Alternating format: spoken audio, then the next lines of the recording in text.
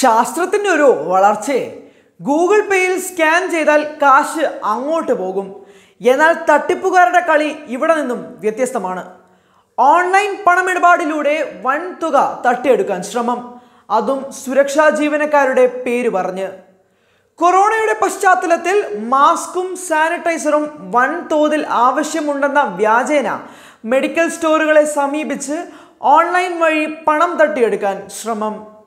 വിമാനത്താവളത്തിലും ആശുപത്രികളിലും സംരക്ഷിക്കുന്ന സുരക്ഷാ ജീവനക്കാർക്ക് വലിയ തോതിൽ മാസ്കും സാനിറ്റൈസറും ആവശ്യമാണ് എന്ന രീതിയിലാണ് കൊച്ചിയിലെ ഈ ഉത്തരേന്ത്യൻ സംഘം മെഡിക്കൽ ഷോപ്പുകൾ കയറിയിറങ്ങി തട്ടിപ്പ് പരിപാടികൾ നടത്തുന്നത്.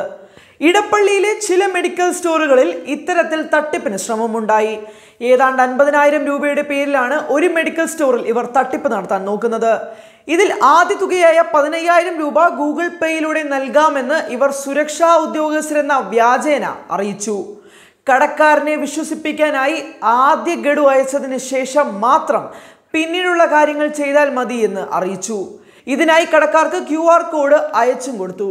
കോഡ് സ്കാൻ ചെയ്താൽ പൈസ ലഭിക്കുമെന്നും ഇവരെ പറഞ്ഞ് വിശ്വസിപ്പിച്ചു. പാവം കടക്കാർ ഇത് വിശ്വസിക്കുകയും ചെയ്തു. സ്കാൻ ചെയ്താൽ പണം ലഭിക്കുമെന്ന് പറഞ്ഞിരുന്നെങ്കിൽ പക്ഷെ സ്കാൻ ചെയ്ത് നോക്കിയപ്പോൾ നടന്നത് സ്കാൻ ചെയ്ത കടക്കാരിൽ നിന്ന് പൈസ അങ്ങോട്ടേക്ക് പോകുന്ന അവസ്ഥ. അങ്ങനെ ഒരു രീതിയിലാണ് സ്കാനിംഗ് കോഡ് സെറ്റ് ചെയ്തിരിക്കുന്നത്. ഇതിന് ഇരയാകാനിരുന്നതായിരുന്നു ഇടപ്പള്ളിയിലെ മെഡിക്കൽ സ്റ്റോറിലെ ഉടമ അംജദ്. എന്നാൽ തട്ടിപ്പുകാർക്ക് പക്ഷേ അപ്രതീക്ഷിത പണിയാണ് കിട്ടിയത്. അംജദിന്റെ ബാങ്ക് അക്കൗണ്ടിൽ ഇത്രയും പണം ഇല്ലായിരുന്നു.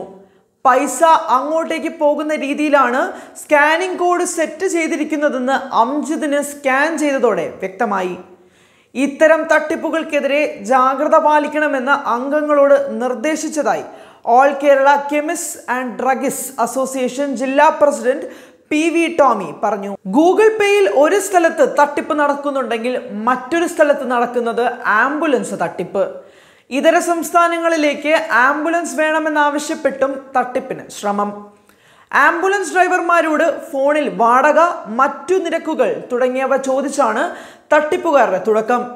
ഡ്രൈവർമാരെ വിശ്വസിപ്പിക്കാനായി കരസേന ഉദ്യോഗസ്ഥരെന്ന വ്യാജേന ഫോണിൽ സംസാരിക്കുന്നത്. ഭാഷ ഹിന്ദിയിലും. പണം നൽകാൻ ബാങ്ക് അക്കൗണ്ട് വിവരങ്ങൾ നൽകണമെന്ന് തട്ടിപ്പുകാർ ആവശ്യപ്പെടും. പിന്നീടാണ് തട്ടിപ്പ് നടക്കുന്നത്. പൈസ അയക്കാൻ ശ്രമിച്ചിട്ട് നടക്കുന്നില്ലെന്നും അതുകൊണ്ട് ഒരു ആയിരം അല്ലെങ്കിൽ രണ്ടായിരം രൂപ അയക്കണമെന്ന് ഡ്രൈവർമാരോട് ഇവർ ആവശ്യപ്പെടും. എന്നിട്ട് ഇതെല്ലാം കൂടെ ചേർത്ത് പിന്നെ ഒരുമിച്ച് നൽകാമെന്ന് ഡ്രൈവർമാരെ പറഞ്ഞ് അങ്ങ് വിശ്വസിപ്പിക്കും.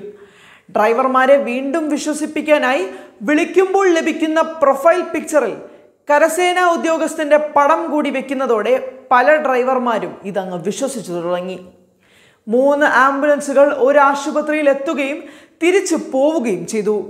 നഗരത്തിലെ അഞ്ച് ഡ്രൈവർമാരോട് ബംഗളൂരു മുംബൈ എന്നിവിടങ്ങളിലേക്ക് ആംബുലൻസ് ആവശ്യമുണ്ടെന്ന് പറഞ്ഞു വിളിപ്പിച്ചതായി വിവരം ലഭിച്ചിട്ടുണ്ടെന്ന് ambulance owners and drivers association president Dennis Paul പറഞ്ഞു. ഈ തട്ടിപ്പ് സംഘത്തിനെതിരെ പരാതി നൽകിയിട്ടുണ്ടെന്നും അസോസിയേഷൻ വ്യക്തമാക്കി. News desk Karma news.